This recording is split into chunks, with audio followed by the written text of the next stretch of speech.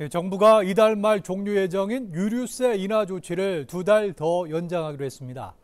네, 하지만 인하율을 축소하기로 하면서 다음 달부터 기름값이 오를 예정인데 유류비 지출이 많은 제주는 물가 부담이 커질 수밖에 없습니다. 보도에 김지우 기자입니다. 제주 시내 한 주유소로 기름을 넣기 위한 차량들이 분주히 드나듭니다.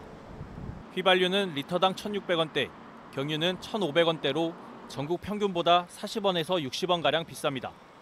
다만 도내 기름값은 유류세 인하와 국제유가 안정화 등으로 지난 4월 하락세에 접어든 뒤 현재는 비교적 안정된 흐름을 유지하고 있습니다. 하지만 다음 달부터 유류세 인하율이 축소되면서 기름값이 다시 오를 것으로 보입니다. 정부는 당초 이달 말 종료될 예정이던 한시적 유류세 인하 조치를 두 달 더 연장하는 대신 국제유가 안정화 추세를 반영해 인하율을 줄이기로 했습니다. 휘발유 인하율은 25%에서 20%로, 경유 인하율은 37%에서 30%로 조정됩니다. 이에 따라 휘발유 유류세는 리터당 41원, 경유는 38원 각각 상승합니다. 제주 지역은 자가용 이용도가 높고 기름값도 전국 최고 수준을 보여 유류세 인하율 축소가 더 부담스럽게 다가옵니다.